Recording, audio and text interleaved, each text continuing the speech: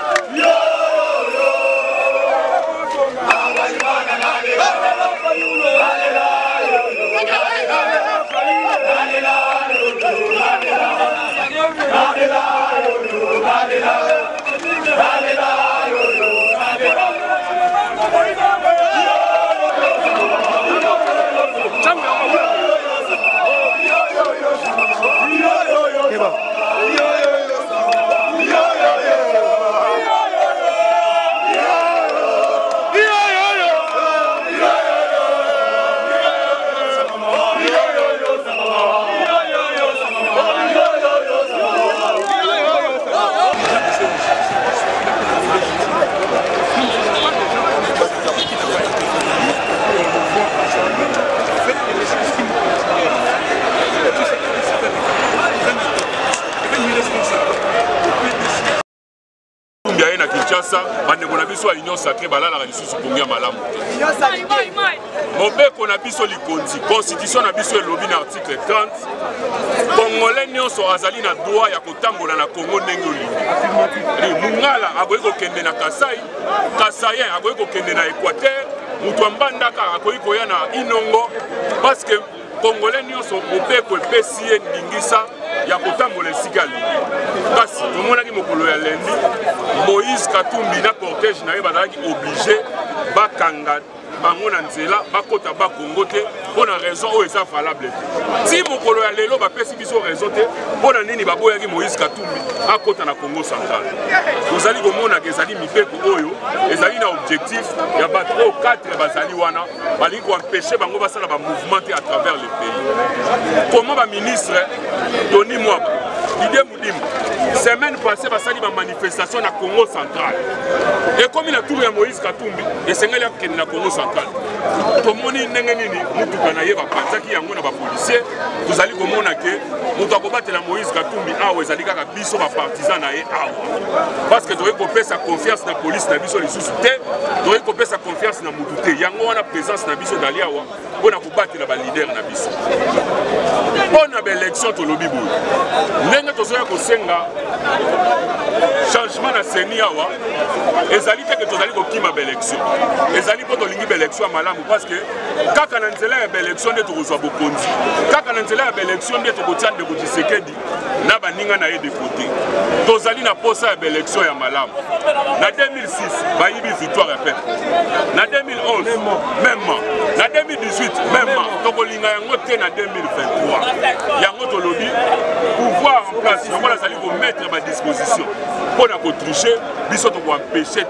Chérie wana ekosalama te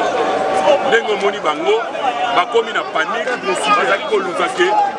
desordre ezala mpo na makambo ya seni bamema élection na lombango lombango mpo bazwa maya ya kotriche ndenge carte électeur nga na question yango eza carte électeur bilongi ezomonana te tovote sikoyo nango ndenge tokovote yango kaka bongo kobimisa bacarte d'électeur wana ezalaki na objectif ya kodécourage biso tokende kosangole verité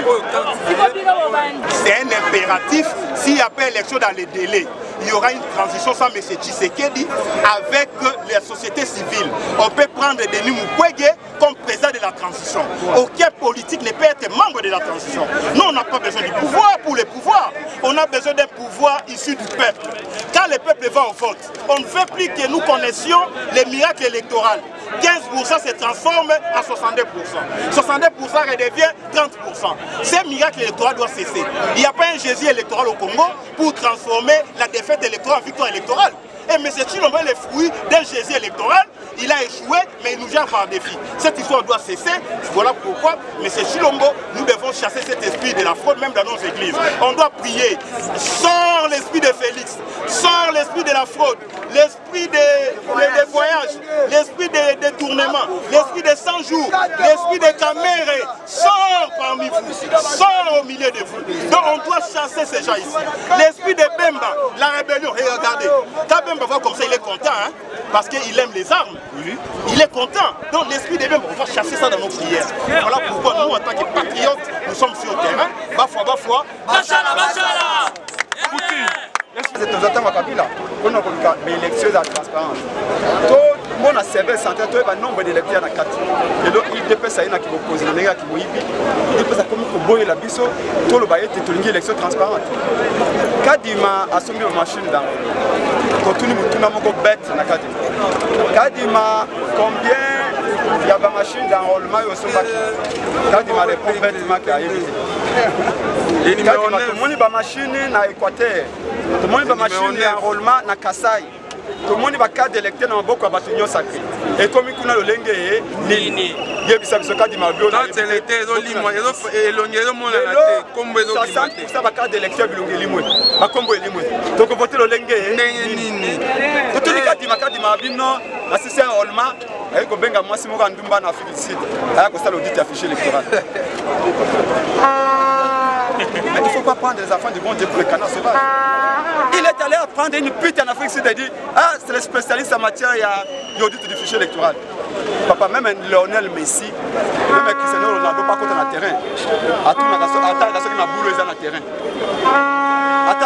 atalaka soki piluse eyali malamu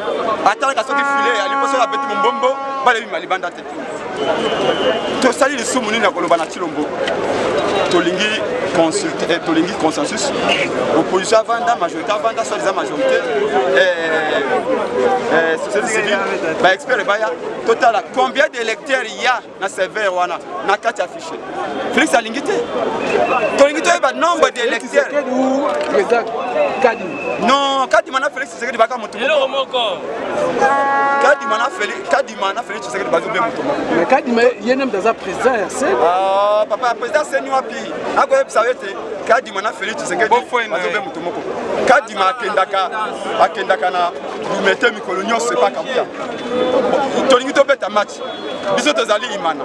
cilomba yali vita félix alingi albitre awuta na ngambo ya idps juge de touche awuta na ngambo ya idps commissaire de match awuta na ngambo ya idps arbitrage video mpe ezala controle na idps bapetio baramase de ballon bazala ya idps na gradin basupporter ya idps meme meteo ya jour wana alingi meteo soki mvula soki mpe moi ezala controle na idps sika biso tokoloba nini tokende na baélection tokende na boucherie c'est comme ça komoi nasimbi bana o eyi kolakisa ete babandaka jamais match ya football batia ballon na défense ya fayulu to ya katumbi te ballon ezalaka toujours na centre bale oyo fo ezala na centre mpo toloba ete que le meilleur gagne awa ah, ye alingi yo mati enge ebanda bibo albitre ekoma moto aide pese kadima tia balo na défense ya fayu tobanda mati na défense ya fayu ezalaka te Voilà, alors, c'est cela que nous sommes là pour dire tolingi transparence mais omoni bakangi bajane ebele peut-être bamosusu bomoni te na bapériphérie ya ville aboye na bakangi bajane ebele babeti ebele bagaz bamosusu bakenda bango na kalo fungola eh, bomoni motuka ma moto eza liboso ya fango wana na bato yo omoni chauffeur wana azozwa motuka ndenge wana soki combien de tonne aza kofente bato soki fo esili soki fo ya motuka wana esili abomba bato felix ya na chine akoma chine akozonga wapi soki fayulu motuka wana enyati fo toka tumbi felix akotika na chine te akoma chinois mboka ekokabonele même jour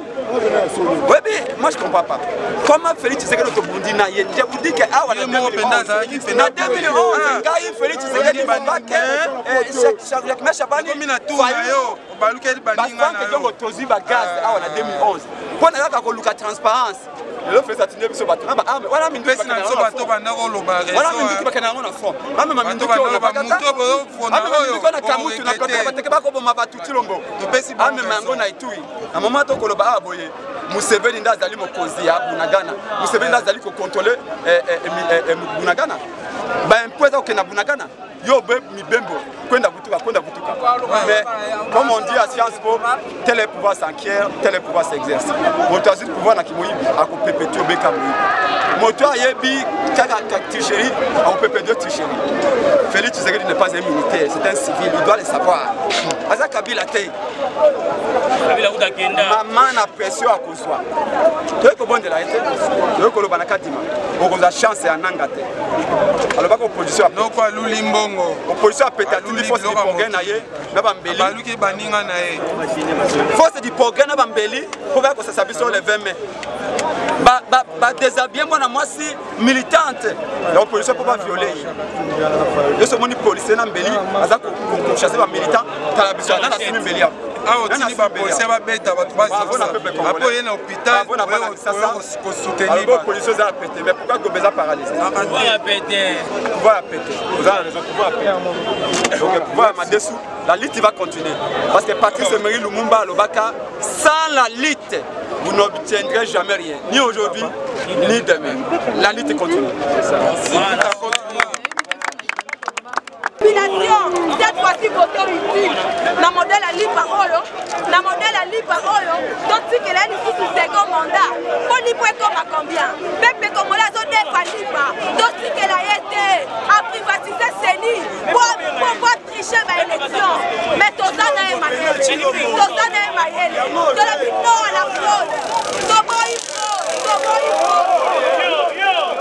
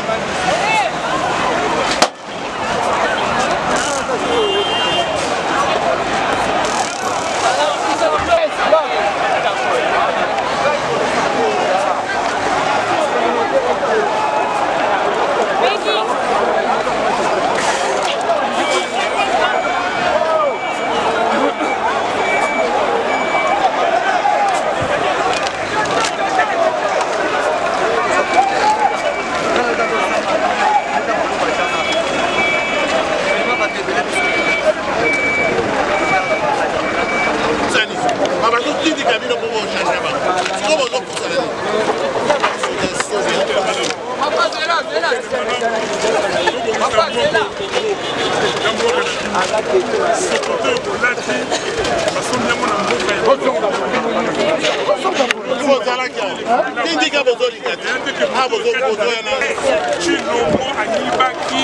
election na 2018 bato nyo akoyiba lisusu te oyoki ngai ale longonya kotikala malamu Thank you.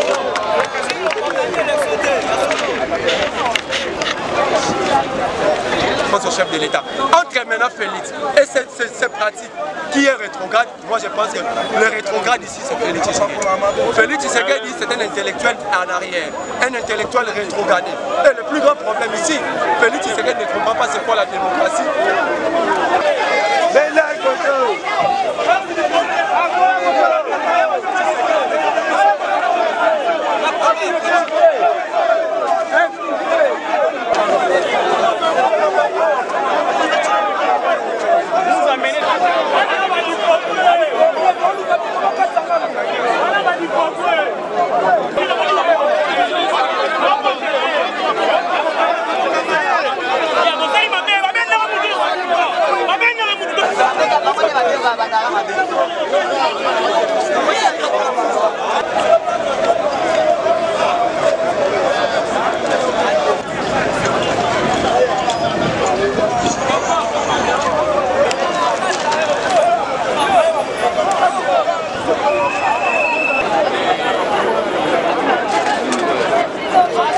Et wana yebi mango asali na kati voilà pourquoi nous sommes là depuis 8 heures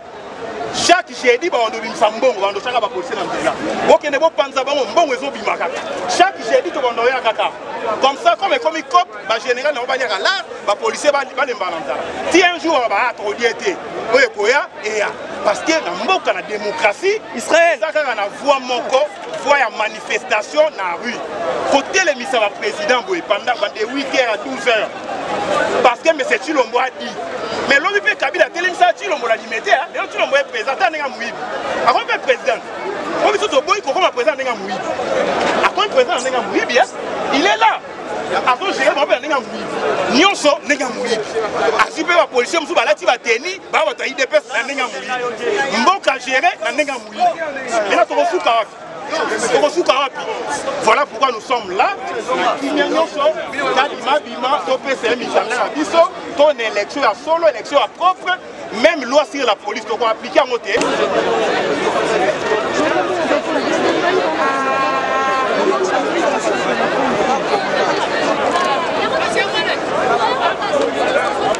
Chers combattants, résistants,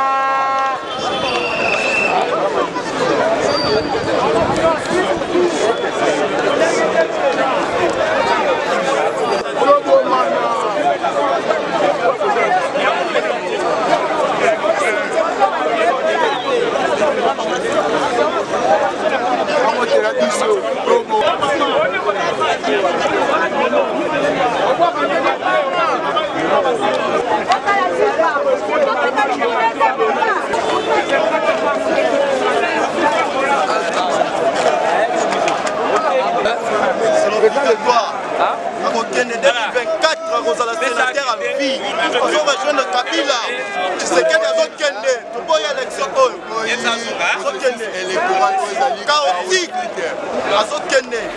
cilolo abomi jeunesse cilolo akotisi bagrève na bauniversité yango wana biso toboyi ye na mboka oyo akende akende ye na kadima bazonga belgique bakende kosala cope ya kimene oyo basalaka awa na kongo Boyi Tshisekedi atika pouvoir ndenge azongi pouvoir na malembe ndenge mpe akotika na kopete nyonso akoma senateur ya ville azwa mbongo oyo bavotela bango na parlema kuna ebele ya mbongo wana ekokoka mpo na badepense na ye toboyi azala president ya mboka oyo mpo akoboma mboka oyo mboka ndenge ekufi toboyi tokende susu bakunda biso yango wana toboyi tolobi non non non non au processus électoral chaotique toboyi toboyi toboyi